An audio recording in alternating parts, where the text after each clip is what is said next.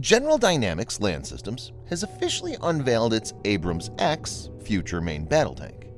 Abrams X is a proposed upgrade of the M1 Abrams series of tanks. It's being pitched as an interim solution between M1A2, SEP V3, and SEP V4, and a future main battle tank. Viewers may note that the initial information regarding Abrams X was provided in a press release that General Dynamics Land Systems put out ahead of the Association of the U.S. Army's AUSA main annual convention and trade show in Washington, D.C. The company first teased the next-generation Abrams design back in June. In this video, Defense Updates analyzes how lethal is the new Abrams X tank. Let's get started. This video is sponsored by War Thunder, the most comprehensive military vehicle online game for PC, PlayStation 4, and Xbox One in which you can go to battle on more than 1,200 playable aircraft, tanks, helicopters, and ships from the 1930s to the 1990s. The game has an amazing attention to detail and focuses on a realistic combat experience, which is why knowing your vehicles and skill really makes a difference. It's easy to get into and all you need to play is nothing more but your mouse and keyboard or controller. Immerse yourself in cross-platform combat with more than 20 million other military vehicle enthusiasts from all over the world. Download and play War Thunder for free using the link in the description below and also get a free bonus tank, aircraft or ship, and three days of premium account.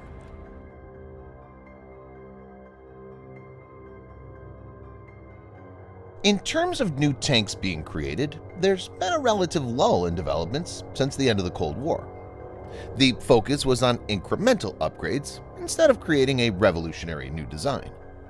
The M1 Abrams is a third-generation American main battle tank designed by Chrysler Defense, now General Dynamics Land Systems, and named for General Creighton Abrams. The United States' primary tank since the mid-1980s, the M1 has undergone gradual improvements over 35 years that have continually improved its capability and lethality. The tank was designed in such a way that it had enough room inside to accommodate new components. Many changes were made like improved sights and new battlefield command and control technologies. So while the tank looks similar from outside, the new variants were increasingly more capable.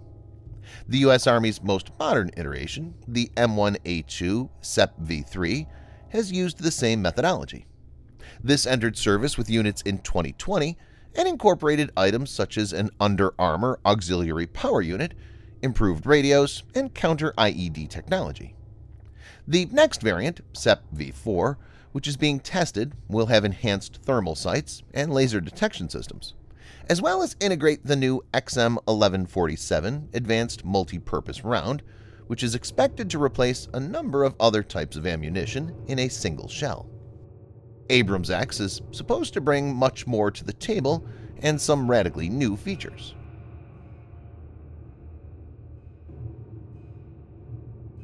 While details are limited, here are some of the key features.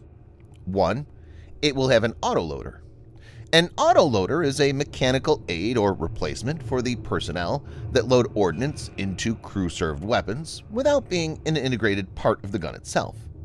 An autoloader extracts a shell and propellant charge from the ammunition storage rack and loads it into a magazine or belt if the gun has one, or directly into the chamber of the gun if it does not it's expected to replace the human loader and hence reduce the crew size. The autoloader can streamline and speed the loading process, resulting in a more effective design. 2. Abrams X will incorporate an unmanned turret. An unmanned turret, as the name implies, does not house any crew.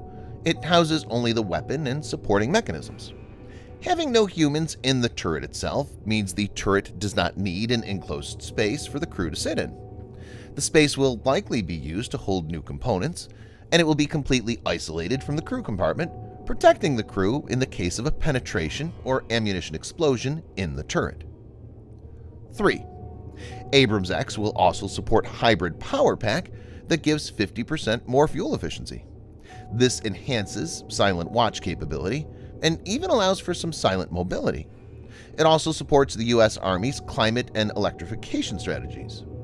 In this context, it's to be noted that Abrams' current kerosene turbine engine is a major fuel guzzler. 4.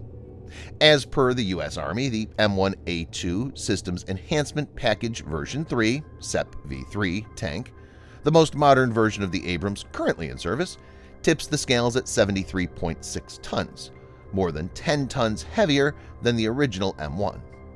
The tank's weight, coupled with its physical dimensions, impose limits on how many of them can be carried inside ships or planes. The latest version of the Abrams is too heavy to be carried by certain landing craft. Abrams X will have reduced weight for improved mobility. 5. AI will be at the very core of the Abrams X. This will enhance lethality, survivability, manned and unmanned teaming, making the tank a more effective platform. 6. The digital backbone for the tank will be the Catalyst Next Generation Electronic Architecture NGEA.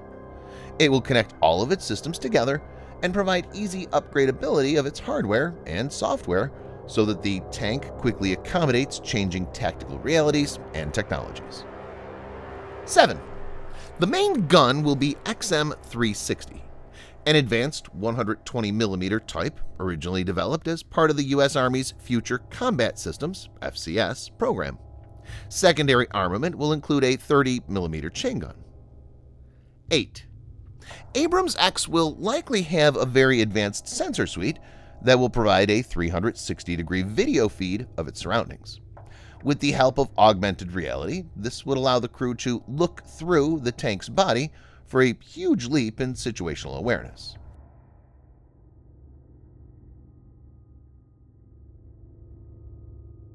Interestingly, Abrams X launch comes after Germany's Rheinmetall unveiled its first new battle tank since the 1970s, the KF-51 Panther recently. KF-51 is being pitched as the successor to the Cold War origin Leopard and Leopard 2 tank.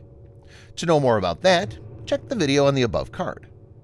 It's evident that Abrams X is designed to meet the future challenges that are expected to present themselves. For example, Russia has come up with Armata T-14, which is an entirely new design and is in limited production.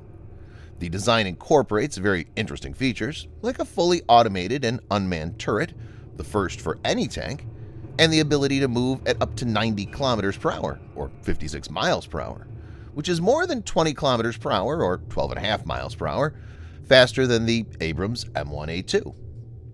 It also has Afganit Active Protection System that uses active electronically scanned array radar to detect incoming projectiles and automatically intercept them. Abrams X is expected to help the U.S. Army keep its edge in armored warfare, and it's also clear that the era of tanks has not ended. Subscribe for more videos like this. Hit the like button if you find the video interesting, and kindly provide your feedback in the comment section. This will help us improve.